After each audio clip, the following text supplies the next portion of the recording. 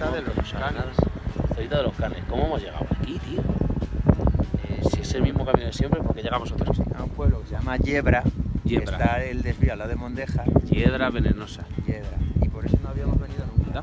Digo que, que aquí se está mejor de temperatura. Mira, si viene Peña. Oye, que subimos a verlo ya que estamos aquí. Vamos a subir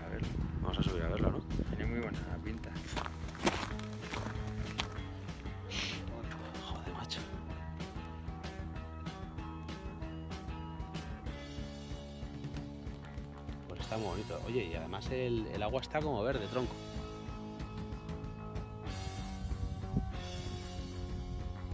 Resto del castillo de Fruita de los Sí, Canes. que esto lo deben estar recuperando. Está muy chulo, ¿eh? A ver, saluda. Muy bien, muy bien. Hola, buenas.